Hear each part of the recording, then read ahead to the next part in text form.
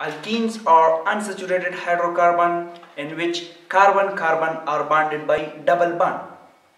So here we will talk about reactivity of alkene. Basically, alkene is more reactive than alkane due to double bond. While we know that in alkane there is only a single bond. In alkene, each double bond consists of one sigma bond and one pi bond and we know that sigma bond is formed by linear overlapping while pi bond is formed due to sidewise overlapping and sigma bond is stronger than pi bond. Energy required per sigma bond is 83 kJ per mole while per energy required per breaking up pi bond is just 63 kJ per mole. So it means that sigma bond is more stronger than pi bond.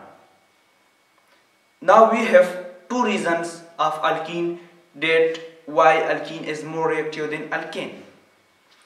So the first reason is electron cloud. As we know that electron cloud of the pi bond is present above and below the axis. This we have 18.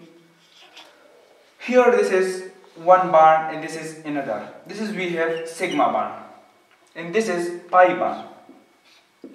So pi bond make a cloud.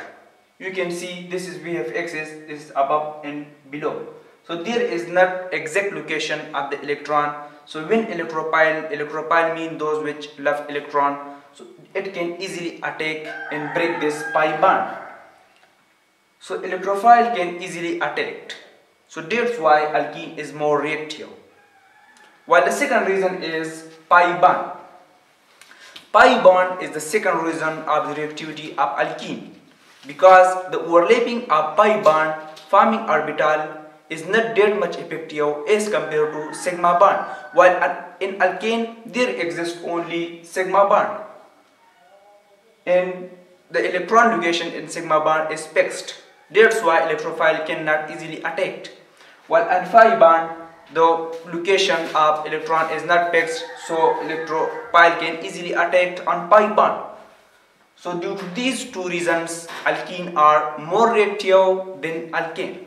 So this was all about the reactivity of alkene. Thanks for watching.